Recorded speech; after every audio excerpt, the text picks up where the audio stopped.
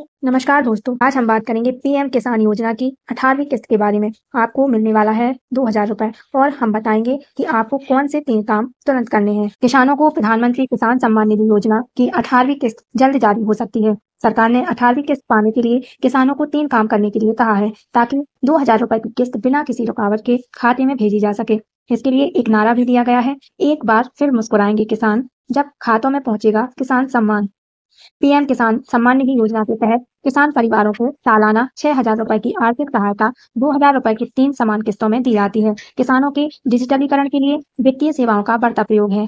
खाद और बीज सहित अन्य खेती संबंधित खर्चों में सहायक है। बता दें कि 18 जून 2024 को किसानों के खाते में सत्रहवीं किस्त भेजी गई थी। इस बार इस योजना की अठारहवीं किस्त का फ़ायदा करीब 12 करोड़ किसानों को मिलेगा। अठारहवीं किस्त दो हज़ार रूपए पाने के लिए किसान ये तीन काम ज़रूर कर लें। पहला ई केवाईसी पूरा करें। दूसरा, बैंक खाते को आधार से लिंक करवाएँ। तीसरा, ज़मीन रिकॉर्ड का वेरिफिकेशन कराएँ। पीएम किसान मोबाइल ऐप के तहत किसान फ़ीस ऑथेंटिकेशन फीचर के माध्यम से घर बैठे आसानी से ई केवाईसी करवा सकते हैं।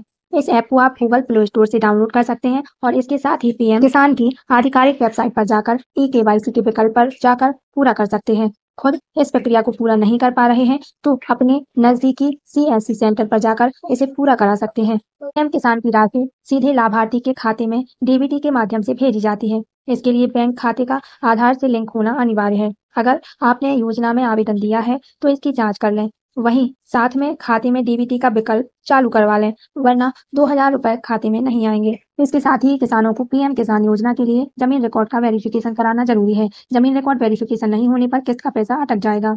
पीएम किसान चैटबोट ई मित्र के माध्यम से सभी किसान अपनी भाषा में पीएम किसान सम्मान निधि योजना की अठारहवीं किस्त से जुड़े हर सवाल का जवाब प्राप्त कर सकते हैं।